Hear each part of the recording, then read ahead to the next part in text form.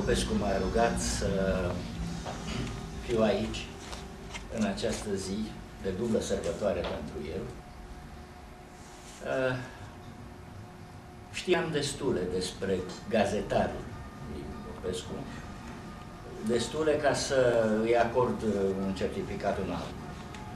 Acum, după ce am văzut cartea, uh, pot să spun că pot semna acel certificat în cunoștință de cauză.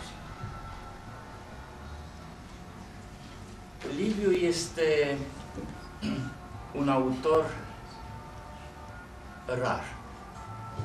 De ce? Pentru că încă din cartea de debut editorial dovedește un lucru cu care nu ne întâlnim prea des, și anume că ne aflăm în fața unui autor care a citit mai mult decât a scris. Asistăm deseori și aici la Vâlcea, dar și prin alte părți, la debuturi, în ghilimele, care se produc mult prea devreme și mult prea nejustificat. Sunt autori care scriu trei poezii și publică patru. Se naște spontan. Uh, iar uh, vorba lui Nicolae Manolescu n-ar fi așa de grav asta, măcar dacă ar citi. Dar, în sfârșit, asta e o altă chestiune. Cu alte cuvinte, vreau să spun că avem în Liviu Popescu un autor cu o solidă platformă culturală, un autor familiarizat cu tehnicile moderne, romanești, un uh, postmodern în fond, îmbrăcat într-o haină aparent clasică. Să mă explic. Postmodernismul presupune, între altele, citatul cultural. Și cartea lui are momente în care naratorul parcă ne face cu ochiul așa discret și ne trimite către ceva. Vă prindeți la ce am vrut să spun? E un uh, continuu joc uh, interactiv, dacă vreți, deși purtat peste timp, în care uh, o narațiune, cum spuneam, de tip obiectiv, sfârșește prin a se defini ca una de tip nu numai modern, ultramodern, postmodern, post-postmodern chiar. Dacă cineva m-ar pune să-i spun așa într-o formulă sintetică, domne, despre ce e vorba în Universul ca teatru? I-aș răspunde chiar cu titlul cărții. E vorba despre Universul ca teatru.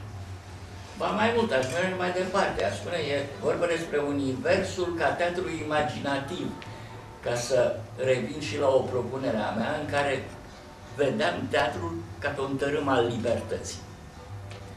Această libertate și-o ia și Liviu, o libertate narrativă în care timpii, epocile, spațiile geografice uh, nu constituie niciun impediment, în care el se mișcă cu o dezvoltură excepțională, construind un spectacol, pentru că, de fapt, asta este cartea, un spectacol care se află între două ridicări și căderi de cortină, cea inițială și cea finală. Între aceste două cortine avem, cum vă spunea și Carmen, 10 secvențe, 10 tablouri, dacă vreți. Povești new-yorkezi, poveștile insule, marchize ale nordului, ale poierului, apoi ale toamnei, iernii, primăverii, verii și, în sfârșit, ca un corolat, poveștile uh, vieții. Uh,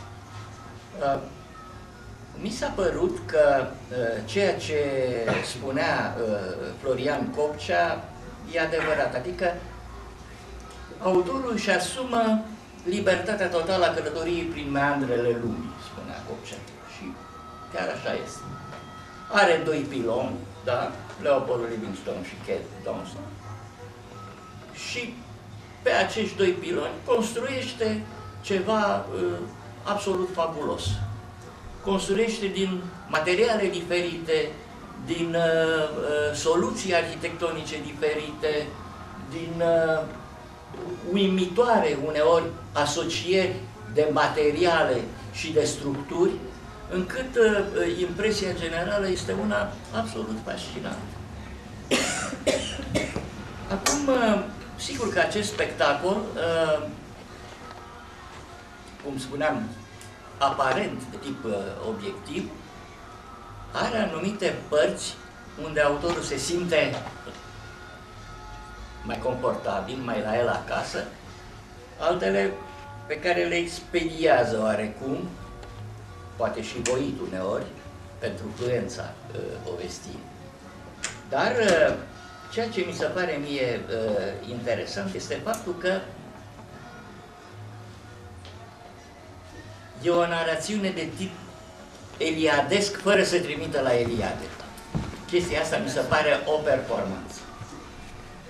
Avem uh, nenumărate secvențe în care doar, ca să zic așa, structura intimă este eliadescă, dar nimic nu trimite către universul lui Eliade sau către datele din prozele lui Eliade. Mă gândesc la o secvență din metrou, de pildă, în care la un moment dat uh, protagonistul uh, nu mai vede intrările, ele dispar, intră, iese din timp și sau la minunatul motan Aristotel, nu?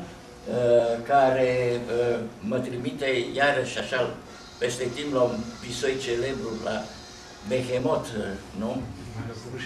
Din Maestru și Margareta lui Bulgakov. Sigur, acolo era altceva, dar și aici ingeniozitatea funcționează. Locul unde Liviu e foarte tare este atmosfera. Liviu e un creator de atmosferă aș risca cuvântul excepțional. Și în această capacitate de a crea atmosferă, muzica joacă deseori un rol extrem de important. Da. Și uh, în special două instrumente, pianul și saxofonul. Da. Și asta m-a trimis cu gândul la un text al lui Cioran, care spunea ce nevoie mai avem să-l citim pe Platon când un saxofon îți poate dezvălui o lume întreagă? și te-a trimis cu gândul la Doru Moțov, iubitor de jazz ca și Liviu. Că saxofonul da. și lui îi spune ceva. În seara asta ne deletăm. Da. Dacă da, așadar, muzica, muzica joacă, joacă acolo. De asemenea, el are capacitatea de a converti senzaționalul în credibil. Mă gândesc chiar la una din secvențele de aproape de, de finalul cărții, când uh, Kate uh, suită în cursa Budapesta-Atena, uh, eșuează la Gioroc lângă Timișoara, uh, nimic nu pare uh, forțat. Adică aș zice că uh, chiar așa trebuie să se întâmple, să plece la Atena și avionul să cadă lângă lângă Timișoara. Deci, el are această capacitate de a face lucrurile aparent incredibile, de a le face credibile. Asta ține de arta naratorului. Cred că putem saluta în Liviu un, un scriitor adevărat, care de data asta mă disociez total de Copcea, nu este deloc un adept al suprarealismului, cum crede el. Din potrivă, este un scriitor cât se poate de realist, numai că el practică un realism de un tip aparte. Mă gândesc la o carte excepțională lui Roger, se intitula De un realism sans rivaj, despre un realism nețărmurit. El susținând că realist nu este doar ce este pipăibil. Realist, realism înseamnă și lumea noastră interioară, și visele, și nălucirile, și năzărelile noastre, și lumea noastră interioară. Totul e realism dacă ține de om. Și se pare că un asemenea crez împărtășește și uh, Popescu.